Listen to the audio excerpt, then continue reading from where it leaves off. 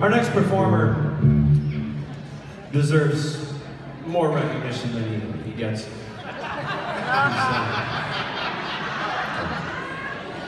fantastic artist. He's uh, a little weird, but he's all right. He's harmless. He's uh, he's done very well. He's got a boatload full of awards, most of them for you know junior baseball achievements and stuff like that. But that's fine. Voted best chocolate milk maker, two out of three people for four years running in his household. I'm telling you, yeah. And here to sing a new song.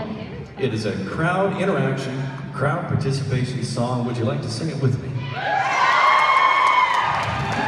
Such a great audience tonight. Fantastic.